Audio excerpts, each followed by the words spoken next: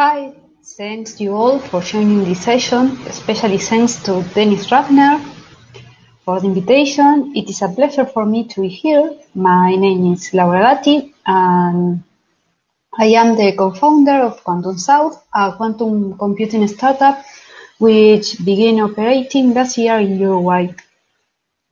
In this session, I will briefly tell you about my first experience with this growing world of quantum computing. Next, I will talk about Quantum South, its beginnings and its potential. And finally, I want to share with you as a researcher and as a teacher in quantum computing in Uruguay, my thoughts about, about the implication of the existence of Quantum South. Um, when I finished high school, I got a full scholarship to study telecommunication in a private, private, private university here in Uruguay. Although my undergraduate degree is in telecommunication, I never enjoyed this particular field so much. I always liked mathematics. My mother is a high school math teacher and she made me love mathematics since I was a child. Um, and I definitely enjoyed the math in courses during my undergrad, but I didn't like the technical part of telecommunications so much. When I had to choose my final project by the year of 2011, two of my senior professors, Dr. Andrés Fonseca and Dr. Efraín Buksman, saw and paid attention to my academic preference and they offered me a new option. They were working a new topic. This new topic was quantum computing and according to them it could be a great match for me. They were developing a quantum computer simulator in Scilab. Scilab is like an open and free version of MATLAB. And they need a person to document the process unify the format, and if it's possible, create new functionalities. So I took this offer and did the show. As you can imagine, my beginning in quantum computing was hard. I had to learn the fundamentals of the theory quickly because I only had one year to complete the project. The truth is that I fell in love with quantum computing and then I decided to do a master degree in it also here in Uruguay.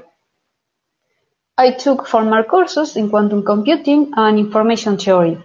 At the time, the only master's programs in Uruguay offering, offering master courses were ruled by quantum mechanics physicists and did not specifically coincide with the topic of my thesis that was discrete quantum systems. I think that this, I think that this mismatch was basically due to my mathematical approach to the topic. One of the members of my master's thesis committee was Professor Jesús García Lacalle from the Polytechnic University of Madrid. He was the author of one of the models that I specifically studied in my thesis, and he liked my work and invited invited to me to do my PhD with him as director. So the following year, I enrolled at the Polytechnic University of Madrid and found funding for a two-year research stay there. I really enjoyed it. I continue working on the same topic, but only focusing on the model of Dr. Garcia Lacalle. The model that we ended up publishing contains only two gates. But with these two gates, we proved that the model fulfills the most important quantum properties as um, like superposition, like entanglement, parallel, parallelism, and the most important that it's a universal model. In, universal in the sense that any gate can be implemented with the required precision using only the gates of the model. The but the main property of the model is that the set of states that can be achieved from the computational basis applying these two gates can be graded as vectors with, real, with a real and, and an, an, imaginary integer part as coordinates, except for a normalization factor of square root of 2 to the power of an integer. In a certain way, this model is a quantum computing toy model. It's a toy model. Very clever, but far away from the real and tricky quantum computers. And when I returned to Uruguay in 2018, no one was working in any type of research similar to, to mine. And I began to overthink and I began to have serious doubts about the viability and the, rele- and the relevance of my research. Then I took a risky decision and I decided to do a two year two years master degree in economic history. I know you are you must are thinking what is the link between these two fields, but trust me, it has a link. I chose this master because it focuses on how technological change affect our lives and how human capital is crucial to be at the frontier of knowledge and production. Despite the fact that Uruguay is a very small agrarian country, our population is close to 3 million people, I discovered that our software industry achieves more than eh, more than 14% of our GDP. That we, were, that we have a flourishing and mature industry in a, in a key sector of the world economy.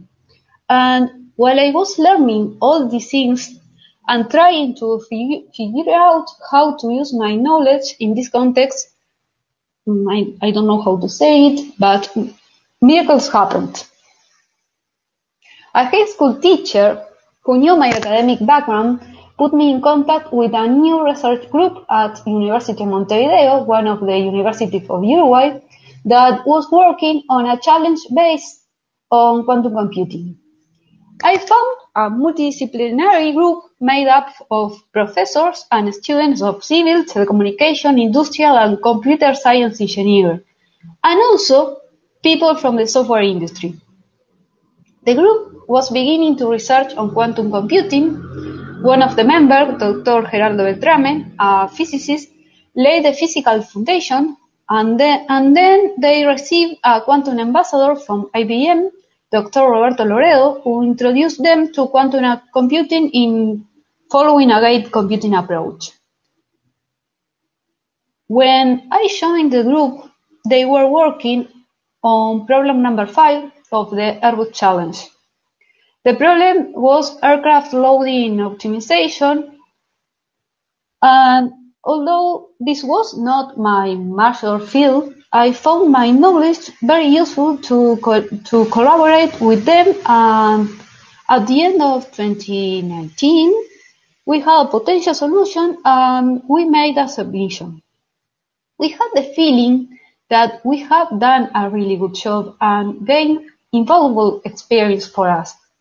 Thus, Martin Machin, who has a long history in technological ventures, and Rafael Sotelo, head of the research department at the University of Montevideo, proposed us to the members of our group to be a part of a startup in quantum computing. This was the beginning of Quantum South. We continued working on the possible extension and, implement, and implementation of our solution in different platforms. We, we, for example, we use Qiskit, D-Wave, these two had his own computers and own simu- simulators. And on agnostic solution too, like tket for, from quantum cambridge computing. And right now we are trying on Braket that belong to Amazon. In early 2020, we were selected to participate in an acceleration program for technological startup IoT Tribe in the UK. And in a certain way, the pandemic helped us, help us because the event went virtual and several of our staff were able to participate remotely. We took this opportunity to improve our business plan and build business ties with airline and maritime cargo companies. The cargo problem has a lot of, a lot of restrictions that must be taken into account in a limited time. Mm, in, in air cargo traffic, for example, it is stipulated that for each 1% increase the cargo load factor, revenue can be increased by 1.6% while keeping cargo yield constant. So there are really opportunities to take advantage of quantum technology in this in industry. And our goal, goal is to achieve better results for the conventional solutions available today by leveraging of quantum computing software. Although we are in touch with different referents of quantum computing networks in America and Europe as university and as a company, it is important for us help future engineers to, develop, to develop quantum capacities. In this line, since last May, the University of Montevideo has been a member of the Microsoft Quantum Network as a research and as a curricular partner.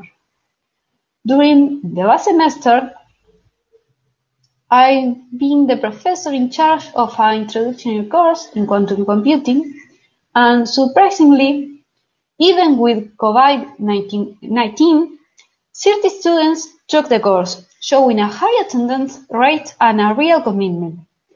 In fact, several of them are looking at, at internship opportunities with, with us in Quantum South and abroad too. In this event, in this particular event, I think it is important to comment that 12 of these 30 students were women, women beginning in quantum, and I'm really, really happy about it.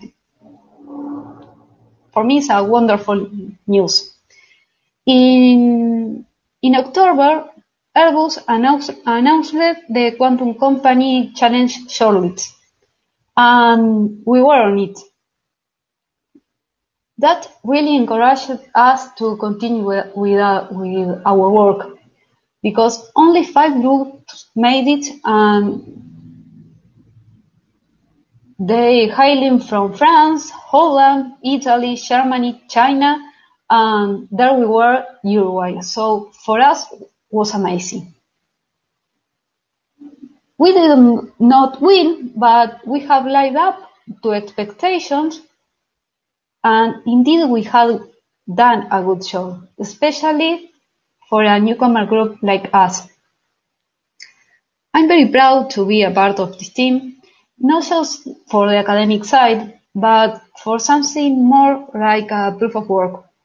We can be at the frontier. We can and we must prepare our, our students for the near future because they will be the protagonists.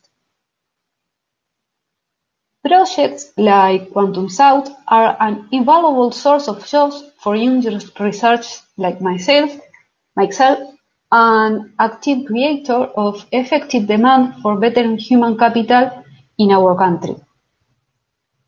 I think that this is all that I want to share with you. I hope that you you found interesting this side